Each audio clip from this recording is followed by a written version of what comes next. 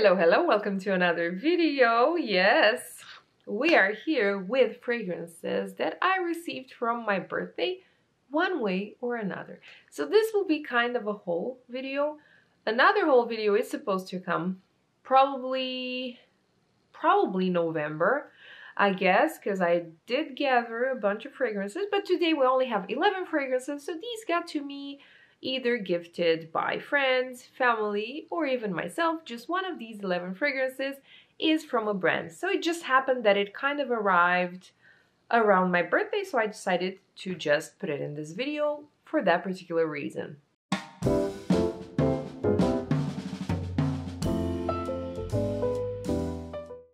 Also, please excuse me for the way I talk and for the way I breathe. I'm having allergies, so it's really hard for me to breathe through my nose. I am breathing through my mouth, which, what can I say? It's a pleasure. So let's begin in no particular order. Let me just grab one of these, okay? So this one, let me show it to you closer. Um, it's been pretty hyped recently. I have to tell you that this is why I got it. Yes, I'm a sucker for hype. I admit it.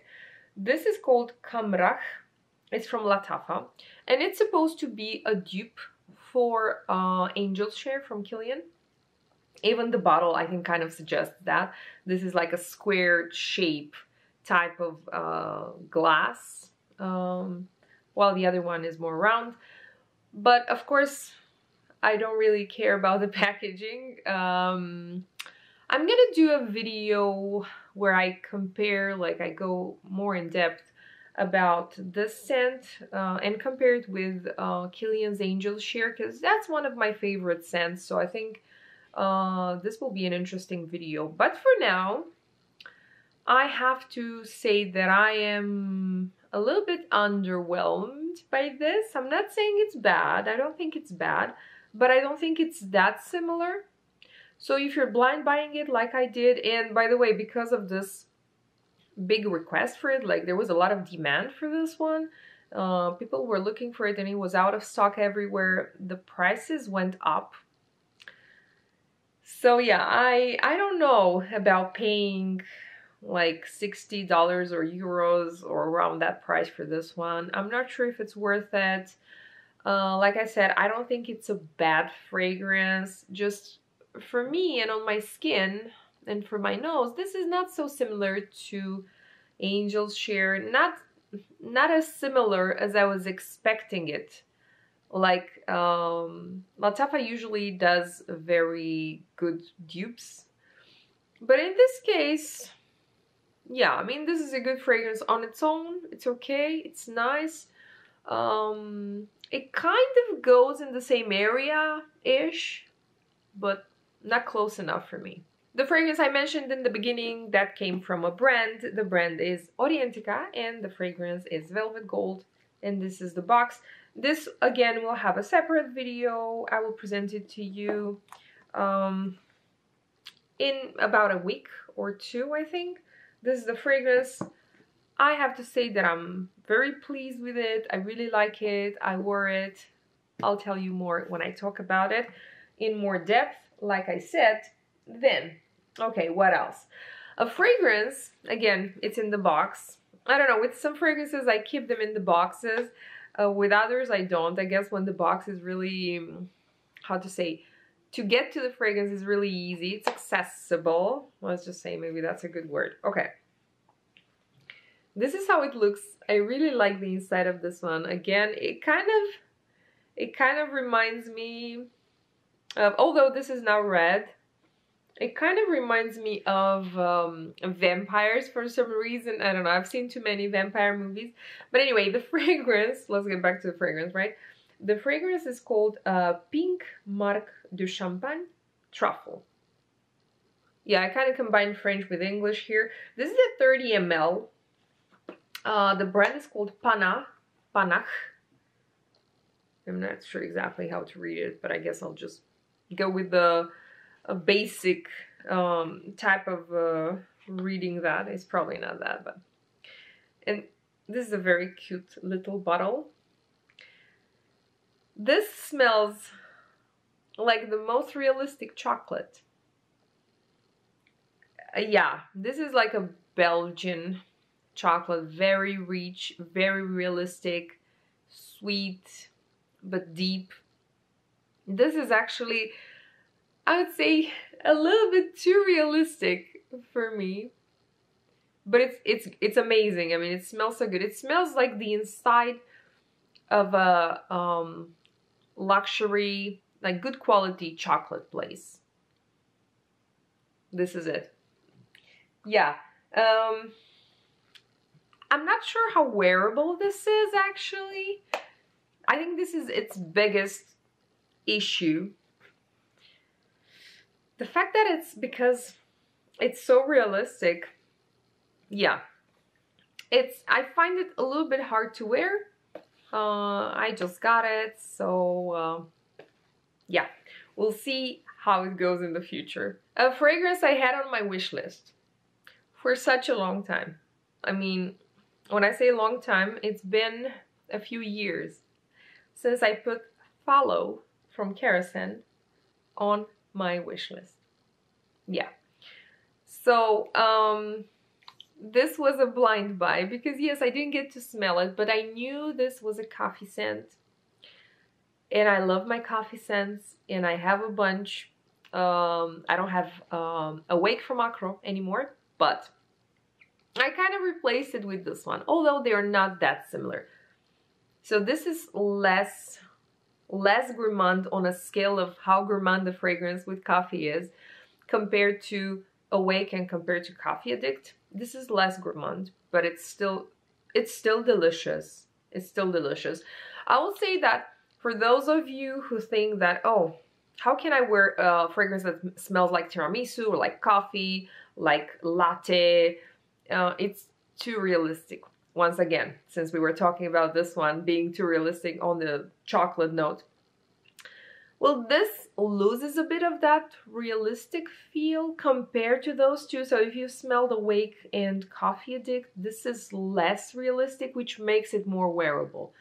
So yeah, I really like it. I feel like the, um, the longevity is pretty good with it. I like this uh, very uh, rough bottle. It, it looks like it was uh, made, I don't know, with on a boat in a good way. it was made uh, by uh, a handyman on a summer afternoon. I don't know. It just it just looks unfinished, rough, like uh, you know what I mean. In a good way once again. In a good way. I like that when people say oh this smells like the stinkiest wood and like but in a good way. Yes. This is it. Did i show it to you closer let me do it again yeah. Yeah you see it's it's not it's not shiny it's not uh glamorous. Yeah it's nothing like that but i like it. I was actually very tempted to add more than fragrances to this video. Uh, so basically all of the gifts that I got, which would have included a pair of Converse shoes that I've designed myself on their website. So I am really crazy with uh, Converse shoes. I have a lot, different colors, shapes, uh, um, whatever, prints, whatever. So I've decided to, because I knew that you can do it on their website, you can like design your own I decided to do it and they just arrived uh, a little bit after my birthday actually and they are so funky yeah but I decided to stick with just fragrances so don't worry about it you won't see anything funky in here so the next fragrance is from Byredo has been on my wish list for a million years this and another one from Byredo but hey, now I have this one and I am very happy about it. So this one is Mojave Ghost. This tells the story about a flower that grows in the desert. I've read a little bit about it and thrives in, let's just say a bad, in bad circumstances. I don't know, in a bad context. Not having uh, water, not having um, you know, the best temperatures and so on.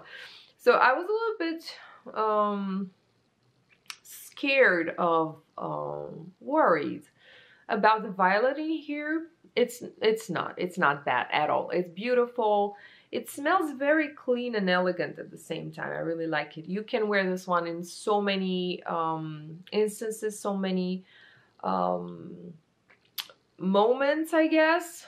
Um it's really versatile and like i said clean musky floral but in a very it's like it's subtle but it's still it has a presence. Yeah, I really like it. And it's it's different from everything I have actually. Two baby fragrances that I got myself. One of them is um is a perfume I heard a lot about. People talking quite highly of. Uh, it's called Plum in Cognac. Um, and it's from a brand called Sense Sense Wood. So I, I obviously don't have anything else from this brand this um, reminded me of um, smoked plums. Um, I know that in Eastern Europe, uh, people do them, like people prepare them in the fall. I don't know the exact process or anything, but I, I would see them in the markets. Uh, my mom would buy them. Uh, you can make different dishes out of them. This is how it smells. It's a smoky plum it does develop like, it has some nuances, um, but I still have to play with it because I didn't wear it. Look at the color. I am not sure if you can see. Oh, the light has to go through it, so yeah, it looks pretty dark, but actually it looks, it kind of has the color of wine. So it's interesting, but I it might be a little bit too smoky for me. I might layer it. Um, it's interesting though and the the oh, okay and the other tiny one is uh, 401 from Bon Parfumeur. Uh, I wanted to get this one for a long time. I decided to get a tiny one. When I ordered this one, it was on the same website. Um, so this is about cedre, so um, cedar, yeah. Um, again, plums and uh, vanilla. So I think I'm not, I don't even remember if I've tested this in the past or I simply knew I would like it. It does remind me of uh, Plum Japonais. Almost put it in my nose. I really like it, what can I say? it does remind me of Plum Japonais from Tom Ford. Yeah, and uh, Féminité du Bois. But Féminité du Bois from uh, Serge Lutens actually has um, there is something in the background. I think I told you this when I spoke about it. There is something in the background with that one that is just like Serge Lutens' signature or something. Something slightly dirty for me. It develops on my skin that way. Um, not this one, not Plum Japonais. So yes, I actually do prefer this one to uh, Féminité du Bois, but out of all three, I would choose Plum Japonais if I could. To just, if I had to just skip one. The next two are supposed to be, well, the original and the dupe for it. So the original is La Danza delle Libellule from uh, Nobile 1942. And it's this one, okay, the, the smaller one. And then uh, Casablanca from Swiss Arabian is supposed to be the dupe. Um, they don't smell exactly the same. Um, yeah, they don't smell exactly the same. This is, this has some rough edges. Well, this one is, like, you can, you can tell immediately after smelling it, after smelling them uh, side to side, that this is so smooth, so smooth and so well blended, um, but this is not bad. This is not bad. Um, if you get past that roughness that you can only see, smell, well, smell when you, like I said, when you smell them side by side, because otherwise, um, but on its own, if you were just to have this one, Casablanca, uh, you would think it's it's quite beautiful. Again, if you love this um, type of scent, let me see the notes actually for this one. Um, Casa Blanca. I think this is quite hyped. Again, just like uh, Angel's Share uh, dupe. From uh, that that one is from Lattafa. This one is from Swiss Arabia. Yeah, so this one has um, green apple, grapes, patchouli. I don't get any patchouli here. Iris, caramel. Yes, it's definitely a combination of fruits.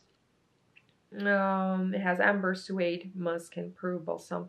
So yes, it's a combination of fruits, especially that apple that's very present and the caramel. Yeah, it's quite delicious. It's um, a gourmand.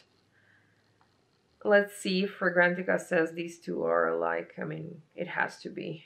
It has to be. Yeah. And there is another one that is similar. So, um, let's see the difference in notes. Okay, La Danza delle Libellule, so the original one, has red apple, has bergamot, while the other one doesn't have bergamot. Uh, cinnamon, so again, there are some differences. It doesn't have caramel. It has cedar, vanilla, coconut, musk. Yeah, this is like definitely um, a more subtle fragrance. The other one is more in your face. Um, but I really like La Danza delle Libellule, like the qualities here is beautiful. It's a niche fragrance, so obviously it's quite expensive and everything. Yeah, I don't regret having those, uh, the two of them, both of them. Um, because I, I don't think they're like exactly the same fragrance, so I can, I can play with them. Uh, and this one is quite affordable, as expected. Two more fragrances. One of them is a disappointment and the other one isn't a disappointment. Both, oh no, actually no, just one of them was, was a blind buy. Okay, let's just start with the disappointment and then let's finish on a happy note. Um, and when I say disappointment, it, it doesn't necessarily mean it's horrible. It doesn't mean um, it's it's a bad, it's an ugly fragrance and that I'm not wearing it. I am wearing it. Um, it's just that my expectations were so high that, you know, it's on me. It's me. It's my fault. Maison Mataha Escapade Gourmande. Again, a fragrance that I've heard so much about. And this is what, like, feeded, feeded? Yeah. Uh, fed, fed my expectation. Okay. Uh, what does it smell like? So it's supposed to be obviously a gourmand. Uh, kind of, I thought it would be kind of in the same area as Fire at Will from Jovoy. Let me see if it actually, if Fragrantica says it's similar to anything. I'm actually curious about this. I didn't check. And I'll tell you what I think it's similar to. and it's not, it's not good. It's not looking good. Mm hmm Oh, seriously? Okay. Nine people say that this is similar to Fire at Will. No. I'm sorry, I cannot agree with this. So to me, yes, to me this is similar to something from Bath and Body Works. This is a very expensive fragrance. Uh, I think I think this is the one. I found it here in the list. Warm, Warm Vanilla Sugar. Yeah, I think this is the one but also similar to another body mist from um, Victoria's Secret. It smells like sugar in a body mist. I don't know, like a sugary body mist. Vanilla and sugar. Very simple, very very not complex, very basic, very cheap. I do wear, sometimes, I mean, I, I have them there. I do wear Bath and Body Works. I always have them in my jean bag. I always have them in my normal bag. I keep them there just in case, whatever. I can use them as spray for the room. But I mean, seriously, this is this is not supposed to smell like this. Okay, I stop. I'm down to the last one, the last fragrance of this video. And this fragrance was a gift from me to me. It's currently the most expensive fragrance in my collection, if I'm not incorrect. I don't think I am. And it's Oud Orange Intense from Fragrance du Bois. I've had this in my wish list for a while. And my birthday was the perfect excuse to actually get this one. It does look a little bit dirty because it's been handled and grabbed and yes. I did wear it quite a bit since I got it. To me, this fragrance, it, it reminds me uh, of a fragrance I have in my collection, but I feel like this one is the lighter, more luminous version of that one. So I'm talking about Symphonium from Sergio. That combination of chocolate and um, orange. So I do get, I don't get a lot of chocolate in here. Um, so if I think about chocolate and I smell this one, I don't necessarily get the chocolate on its own, but I do get that orange. I do get like a candy feel to it. Um, but this, like I said, is a more, is a lighter version of that, like a summer version for me. That one being like a more uh, intense version. Although this one is very strong as well, but um, as a scent profile, to me, that one is for winter and this one is for the other seasons. So, well, truth be told, this one does list uh, fruity notes. No, just a second. Fruity notes, yes. So fruity notes might actually contain orange, which I am picking with this one. It lists coconut, bourbon vanilla, musk, and agarwood. I do not get a lot of oud with this one, so it's not very rich in oud or anything, because I know uh, some might feel intimidated by that oud um, and might think it's too harsh or too masculine. I don't think this is masculine at all. This is quite feminine actually. It's leaning feminine. Sorry, it's my nose again. Uh, yeah, it's leaning feminine. Um, it's very delicious. It's very wearable though.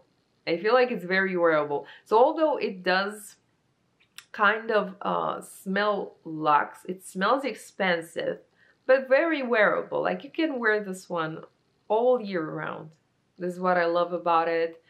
Uh, it lasts for a long time on my skin. I really like it. It's um, so besides being similar to Symphonium, I feel like it's quite different from everything else I have in my collection, which is always a plus. Having a lot of fragrances, um, and uh, most of them being unique in a large collection. I mean, it's it's um, something that you want to achieve when you're building your collection. So I guess this is a good addition to my collection. I was very, very excited to get this one. So yeah, now I have it. It's actually my second uh, Fragrance du Bois at this point. I do have a bunch on my uh, on my wish list from this one. I mean, it's a mental wish list in this case. I did not put it. It's I have an official wish list and I have a mental wish list. So I don't want to put them on the official wish list because then I have to actually work towards getting them, which I don't want to. I'm very happy with this one for now and uh, let's just keep it that way for a while. this was my video. These were the fragrances. Yes. Uh, from next week, we're getting back to our usual uh, videos. No more birthday themes. Uh, thank you for putting up with me and my weird breathing today. I sound like one of those guys that just call and don't talk and they're like... you know. I'm watching the watcher these days on netflix. It's a new show. So if you're watching that you know what i'm talking about. Yeah i'm that i'm that creepy guy now. Okay that's all from me today uh, thank you once more and have a great weekend. What's left of it. And see you next week. Bye bye